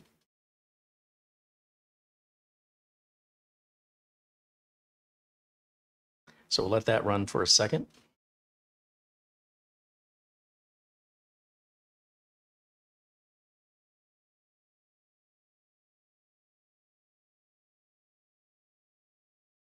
Hmm, Mara should be able to connect again.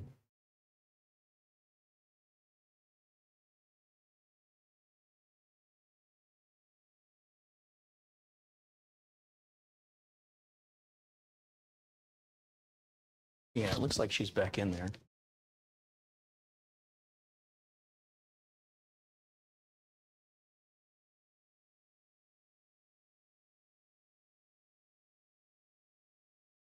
Hit next on here. And install. Can't really read this when it's over there. Let's move it so I can see it. These are the drivers it's putting in. Very good. Install. Normally, it wouldn't take this long to install, but my internet's acting up today. So that's why that's happening. All right, let's see what I've missed here in the chat room.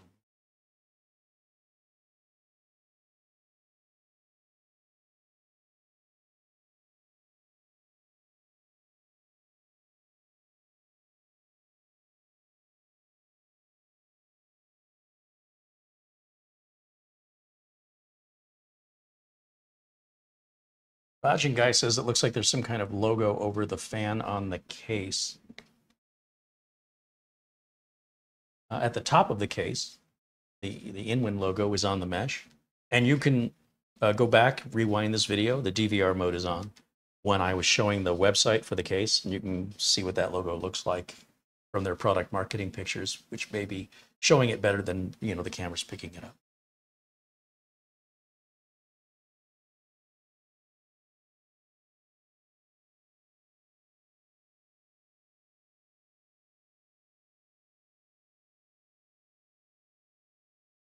Guess that's what he was talking about, the squiggly thing at the top.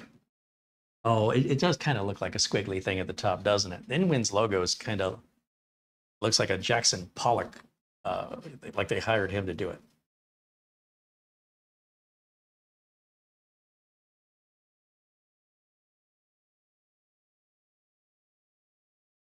Ron Barnish joins us and says hello. There's Jit.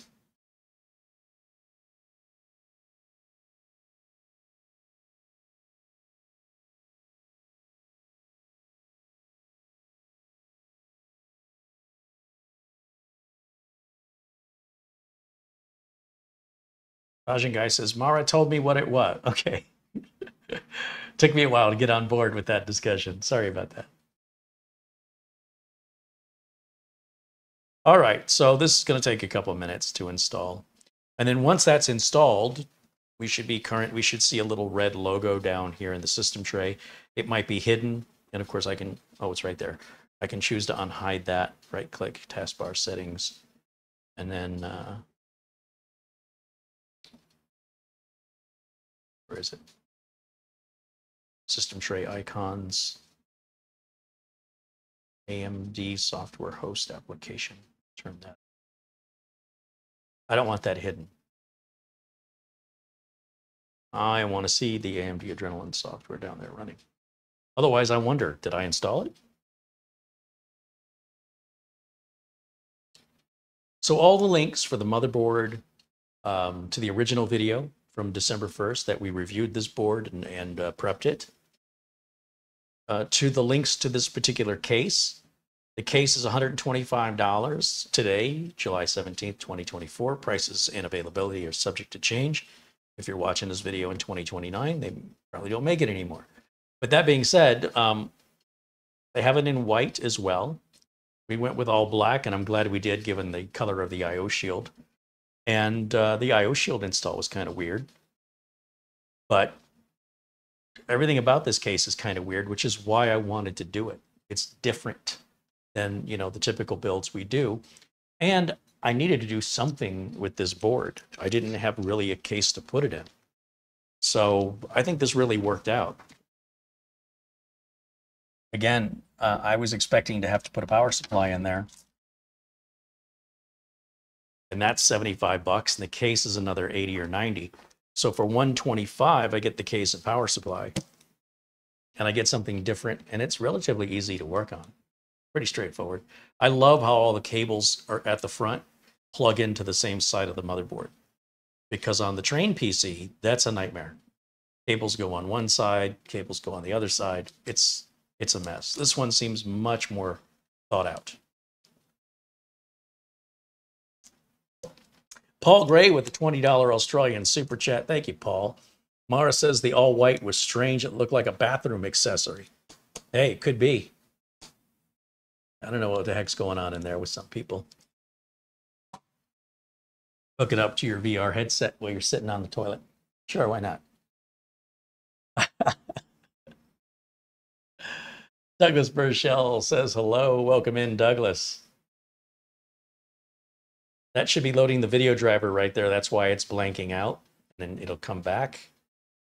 Like I said, this will cover the AMD chipset driver as well as AMD GPU driver. And then that will have to restart to take those drivers to take over. So we'll restart it. This restart may take a little longer than a normal restart as it's replacing the drivers in use with the new updated drivers. And then once it does that, it can restart Windows. It's like changing the tires on a car. You got to stop the car. and then we can take tires off, put new tires on, and then we can, you know, roll again. Kind of like that. How is Mitch doing? You can follow Mitch on Facebook, Mitch Morrison, and he's been posting photos. I haven't heard from him since he left, so I assume you know, the only thing I'm getting from Mitch is what he's posting on Facebook, and he's only posting maybe one picture a day. Uh, I haven't checked it today. We have not heard from him yet. He's supposed to send us maybe a couple short clips when he has time. So I'm going to assume no news is good news, and I'll assume he's just busy having a good time. Go right click device manager. Okay, we're all happy in here, which we were before, just making sure. I can double click down on the AMD Adrenalin software, make sure we got the latest version. I'll hit skip this for now. And we're gonna look, we have 24.6.1. We can check for updates just to make sure it is up to date. Very good. I can get rid of this notification.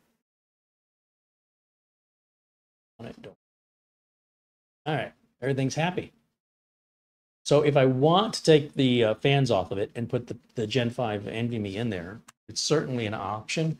It's really, apart from running Crystal Disk Mark, you're likely not going to tell the difference between 7,400 megabytes per second and 12,400. You're going to see it in benchmarks, but as far as your Windows booting or loading applications, it's milliseconds. So unless you're loading a lot of stuff all the time, and it's all got to be internal. The minute you have to go out to the network or to a USB drive, this thing cannot run at 12,400 because it would have to have something else that could keep up with it. So at the end of the day, is it worth spending the extra hundred bucks or whatever for the Gen 5? I mean, that's up to you to decide. The two terabyte drive that's Gen 5 is about $100 more than the same two terabyte drive that's Gen 4, which is probably, I don't know, 50 bucks more than a Gen 3. And most people wouldn't even notice the difference between Gen 3 and Gen 4 or Gen 3 and Gen 5. It is already so much faster than all the other devices you're communicating with that apart from looking at the benchmarks and drooling, the actual practical application of that being uh, useful or uh, enabling you to be more productive is highly unlikely. I mean, you'd have to do an extreme amount of I/O. Maybe you're gaming on this and you want your in between levels to load faster. If if a second or two seconds of uh, different level loading is worth spending the money and, and buying something like this, have at it. Gaming can be a very, very expensive luxury. And um, I just, whether or not I- it's something that interests me, my goal is to give you all the information, the pros and the cons. I'm not going to sit there and say, look how great the drive is, look how fast it is, without also telling you it probably won't make any real difference in the way you use your computer unless you're some power user. And if you are, then you already know whether you don't need me to explain this to you. And I think at the end of the day, again, I think that the Gen 4 drive that's in here is more than more than adequate. And I think it would be a waste of time and money to put this in just so I can run Crystal Disk Mark and see 12,000 plus mega. And then I'm like, oh, it's 12,000. But it's still going to boot in the same amount of time. It's still two terabytes. It's everything's going to be the same. And this will also run hotter. Is it worth it? Spend more, run hotter, see bigger numbers in the benchmark, but milliseconds of speed difference in loading. You decide.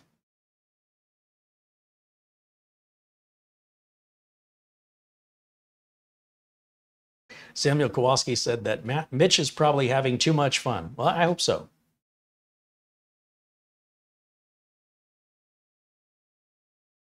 Bajan guy said he's trying to see if the CPU fan is spinning. Can be a little difficult to tell, can't it?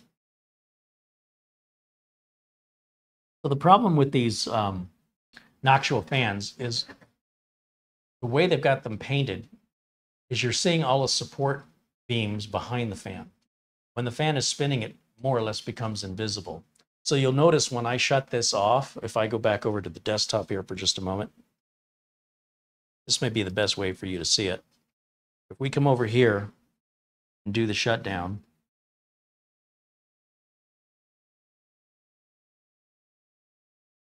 and while that shuts down, let me get back over to camera one. And you should see that fan start to slow down, and then you can see it stop. So because it's dead silent, and when you look at it casually, you don't, see, all you see are the support structures. You think, is the fan even spinning? But if you actually are standing where I am and you, you know, look at it close up, you can see the fan. The camera's not picking it up well, nor can you really see it from a distance very well. And if I turn it back on, you'll see it spin up. And it's really that motion of starting or stopping is when you're going to see the fan from the camera's perspective.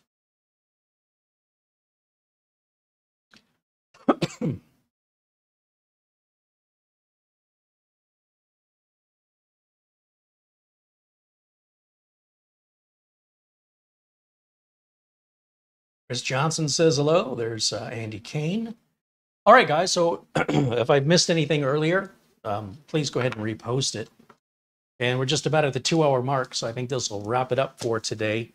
I may just end up putting these screws back in there, get to it later. And I don't think I'm going to use this in this build. So I think I'm going to go ahead and put this back on the inventory shelf. I think I was going to use this just to see if it was Gen 5. I believe it is. I also believe this would be a waste to put it in there because I'm not even sure if I have any use for this, let alone that it would be so demanding as to justify the investment of the Gen 5 drive. So outside of just putting it into test to make sure, that's a more work than I want to do. So I think I'll put the screws back in so I don't lose them. I've already got the uh, SATA cables and screws in this bag. I've got the rest of what the case came with in this bag. And we have our power cable. Now all of this will go into the motherboard box. This will go back on inventory, show up in something else. And then later on, if I feel like it, or when I feel like it, I can open it up and tidy up the cables. It's good enough for now. I can move it that way much easier than moving the board and uh, the case separately. And um, again, we can lay it completely flat if we don't want it to be vertical. And remove that and just set it down this way. May make a nice um, home theater style of PC or uh, I don't know, uh, even just a personal PC for a lot of people. If you want something that's a bit more customized, a lot more customizable than a mini PC, which is essentially a pre-built computer. This is one you build yourself. You're gonna you can decide to put a regular mini ITX board that can take Intel or AMD desktop CPUs. This uses a mobile CPU, so it's soldered into the board and you can't change it. However, for everything you're getting for the money, it's a bargain. So if you were to buy a mini ITX board along with the equivalent AMD CPU and the cooler, remember this has the cooler, we just had to add the fan. And that board had the same capabilities.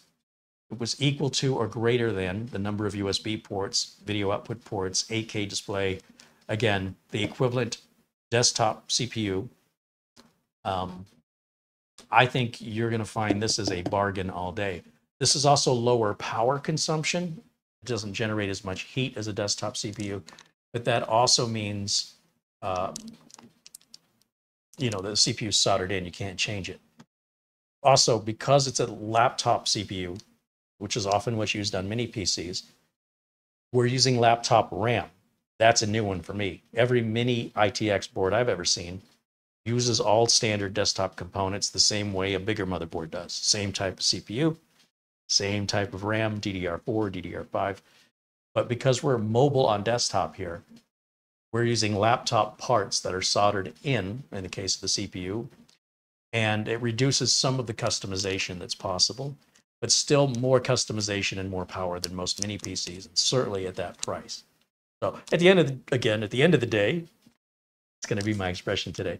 At the end of the day, it's up to you to decide where the value is for you. What's it worth? Uh, it's a very unique looking case. And um, it almost looks like a projector. Like if I just glanced at that, I'd think you had some kind of a projector. So it might match your uh, motif of your uh, theater room, or again, just as a, a desktop to have on your desk. Takes up a lot less space and gives you a lot more flexibility than a standard mini PC. Paul Gray with another $20 super chat, 20 Australian bucks. Thank you, Paul.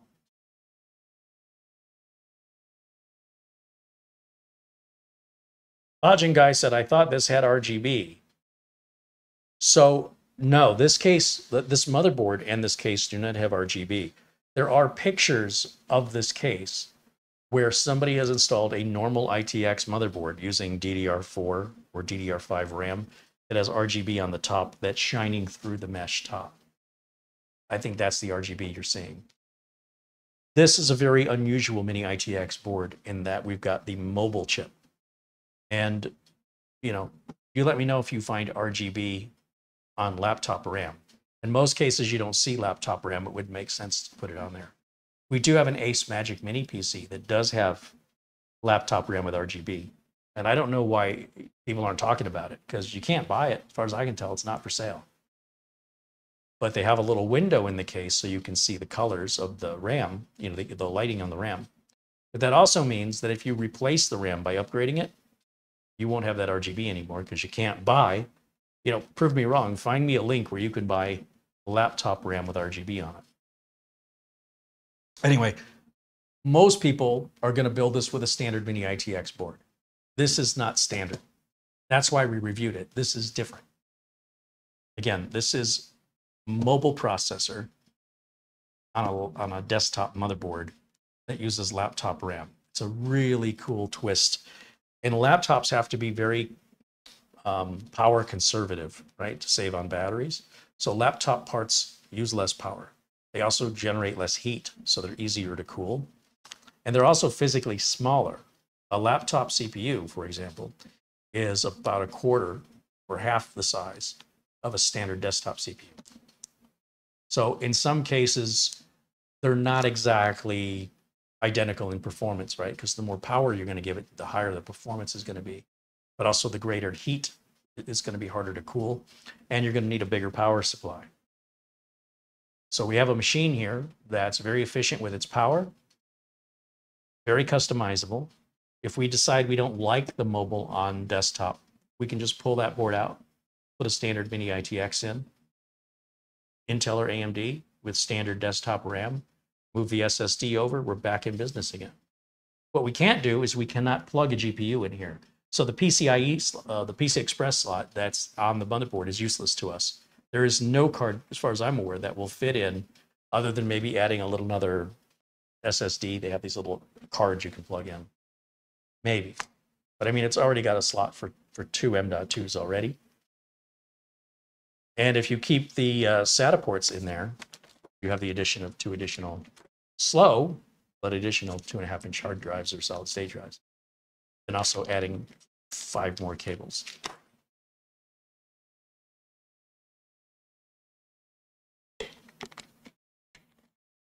All right, I think I'll wrap it up for me. Guys, thank you so much for being members, for supporting the channel. Paul Gray, thank you for your generosity. We appreciate you very much.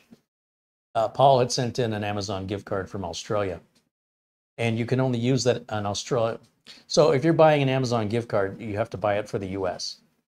And if you're not sure how to do that, or you've purchased one by mistake, like Amazon in Australia means I have to spend the money, or I can only redeem the gift card at amazon.com.au where I do not have an account. So I can't use it. But the money's not lost. You can go into your accounts, your order history, and you can cancel that. Or if you're having any difficulty, you can reach out to Amazon's customer service and they can help you refund that.